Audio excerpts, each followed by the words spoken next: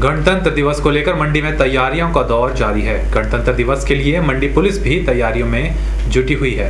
SP मंडी मोहित चावला ने गणतंत्र दिवस की बधाई देते हुए बताया कि स्कूली बच्चों के साथ साथ विभिन्न विभागों की टीमें और पुलिस की टीम परेड की तैयारियों में मशगूल हैं, जिसमें स्कूली बच्चे काफ़ी उत्साह दिखा रहे हैं। 26 जनवरी रिपब्लिक डे की तैयारियाँ पटल मैदान में चल रही हैं।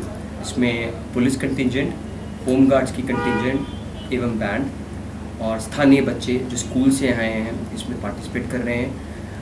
आज जब हमने वहाँ पे दौरा किया और उनकी प्रिपरेशंस को देखा, बहुत सेटिस्फैक्ट्री लगा। बच्चों में बहुत उत्साह है इस परेड को लेकर और आशा करते हैं कि वो इसकी खूब प्रैक्टिस करें और एक डिसिप्लिन और एक अच्छी परेड हम सिटीजन्स हमारे यहाँ के सिटीजन्स हमारे डिस्ट्रिक्ट के सिटीजन्स को मंडी में हम पेश कर पाएँ।